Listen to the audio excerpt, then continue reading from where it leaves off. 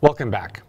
So I'm really excited in this next short sequence to walk you through a machine learning primer. So essentially giving you the building blocks, the kind of nuts and bolts of how machine learning works, how you build a model, really demystifying uh, machine learning so that you can see kind of how these models are built, how they're trained, what are the types of models that allow us to do the amazing things we've seen like you know image classification, large language models, and so on.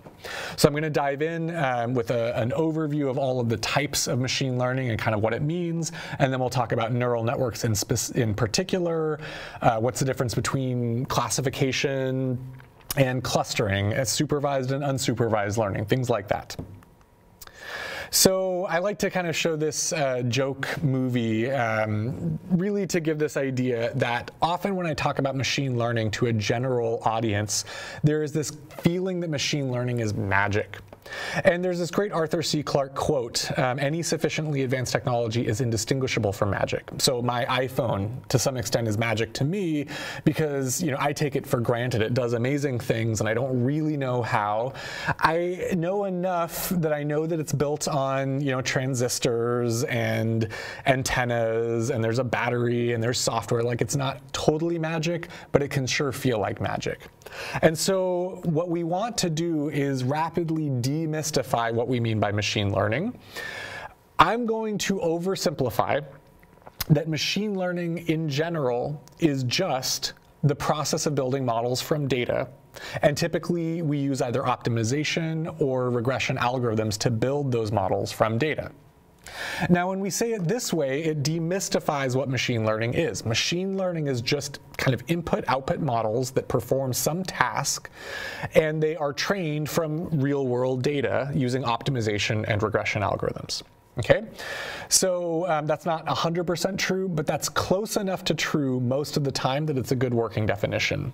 And we've been building models from data for decades. Okay, so this, this is something that we understand how to do, even though machine learning is new and interesting because we have so much more data and so much better optimization algorithms and so much more representative and, and flexible models like neural networks that we can finally train on, on high performance computing architectures, the idea of building models from data is something that makes sense to us. And typically we build these models from data by solving an optimization problem.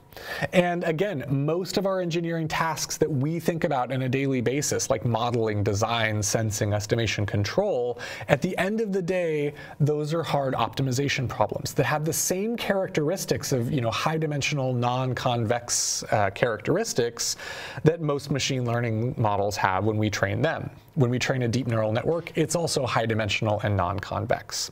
And so these really do go very well together that we can use tools from machine learning to solve engineering optimization problems. And that's in a very exciting and rapidly growing area of both science and engineering. Good. So uh, what is a model? I said that machine learning is the process of building models from data. A model is essentially, I think of it as a function that takes in input data and there are some output values that humans care about. And the inner guts of how that function evaluates that input-output model, there's a million different ways you could represent that model in a computer, in a program, as a function. But at the end of the day, it's an input-output program. So in this example, uh, uh, the input data might be a high resolution image uh, of either a dog or a cat. This is our dog Mordecai. And the input data would get fed into the model. The model would be some function of x, where x is my input data. And this model would do a number of computations on that data. It might you know, run a little convolutional filter across it. It might look for ears and snouts. Who knows what it does? It might be some complicated function. And after doing all of this numerical evaluation, at the output is going to be some desired output. So for example, if I'm trying to build a classifier that tells dogs and cats apart, then my output might be a two vector with my probability of it being a dog and the probability of it being a cat. And if I do a really good job when I put in an image of Mort the dog, then this vector should return a 1, 0 because it's very confident that it's a dog. Okay, that's the kind of model we're talking about with machine learning. And again, the inner guts don't have to be a neural network. You could use a decision tree, a random forest, a support vector machine. There's lots of different ways of training this input-output function, of representing this input-output function. It turns out neural networks are one of the most flexible ways of representing functions, and so they're very widely used today. But neural networks is not all that there is to machine learning. So that's a really important uh, thing to take away as well. Um, I got this example and this uh, image from my friend Nathan Kutz, and I really like this. Ever since he presented this example, um, it's been in my head, this Picasso quote, computers are useless. They can only give you answers. I think that's such an insightful connection Nathan made between this Picasso quote and machine learning. It's the same with machine learning. Machine, learning is useless. It can only give you model outputs. You're the one who has to decide what are you trying to model? What are the inputs and what are the outputs of that model? Okay, and so there's still a lot of human expertise and human guidance in this procedure, in this process of building these machine learning models. You get to design the architecture, you get to design what the model is trying to achieve. You get to curate the training data and how the optimization is run. These are all human questions that have to be asked before you can get the machine to generate those answers for you. So there are many types of machine learning, and this is again only a, a paltry classification into all of the different types. There aren't there are more types of machine learning than just what I'm showing you here, but this is a rough categorization.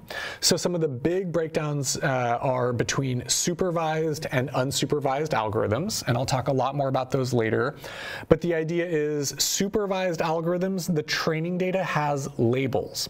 So if I have a bunch of images of dogs and cats and I'm trying to build a classifier, if all of those training data images are labeled by hand, someone labeled them, this is a dog, this one's a cat, this one's another dog. If they're labeled, then the machine learning algorithm that you develop to tell dogs and cats apart is a classifier. Okay, so supervised learning has labels, and if I want to tell dogs and cats apart from labels, I would build a classifier.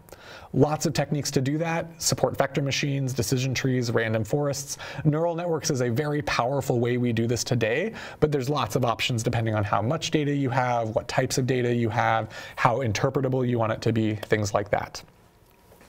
Um, in the unsupervised world, when I don't have labels, if I give you just a mountain of images of dogs and cats, but I don't tell you which one's which, you might still be able to pull information out of that mountain of data and tell that there are these two large categories of different animals. But without the labels, this would be more of a clustering algorithm. Maybe I would learn a cluster that mostly corresponds to dogs and another cluster that mostly corresponds to cats. But it's a different task. This is more like data mining. From that data, what are the patterns without knowing the labels? And then there's a lot of stuff in the middle that we call kind of semi-supervised, where there's partial knowledge or partial labels, or some of the data is labeled. Things like reinforcement learning and generative models typically are in this kind of nebulous middle ground here.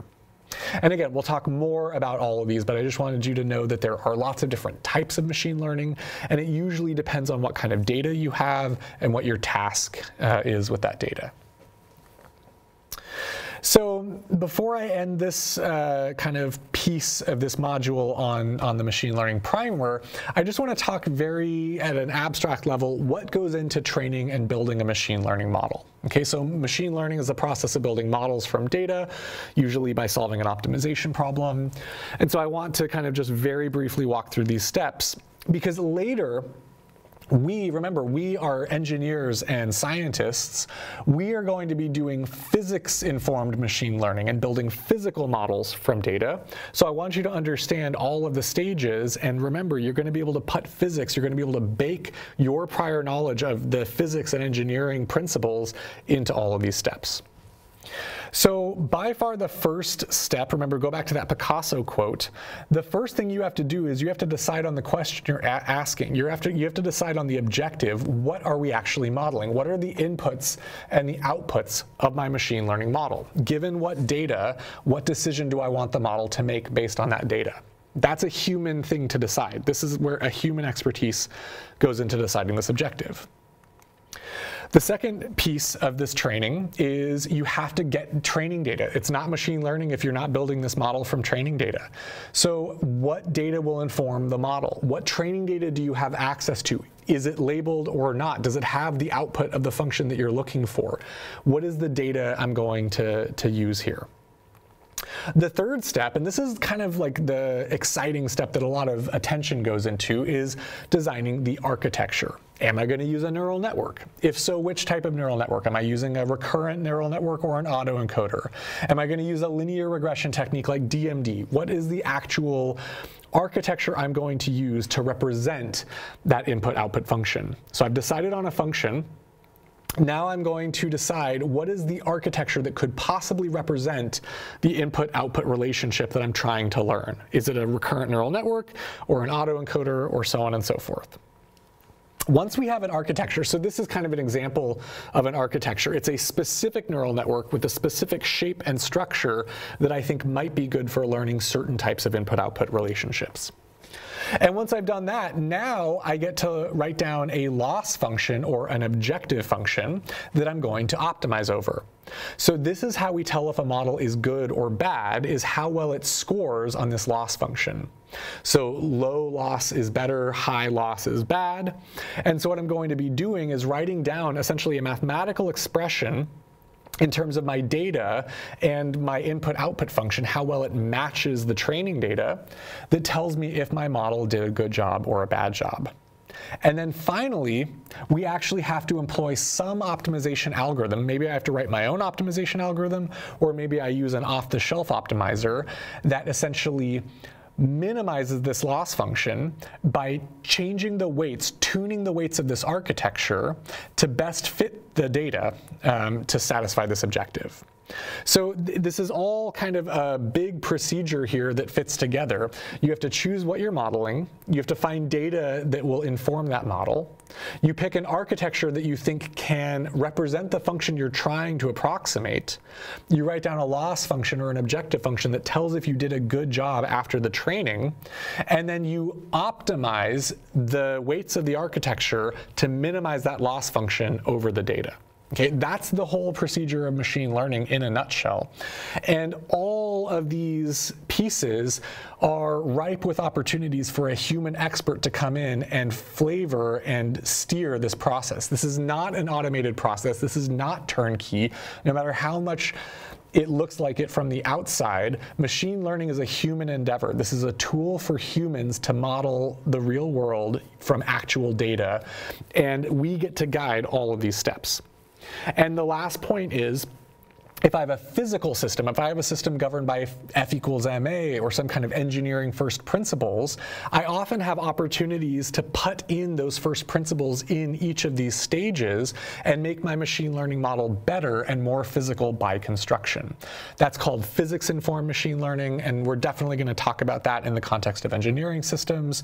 That's where there's a huge opportunity uh, to really dramatically improve machine learning for physical systems and also to get lots um, like performance and insights out of those. Um, you know, maybe I want my model to be energy conservative if I'm modeling a fluid flow.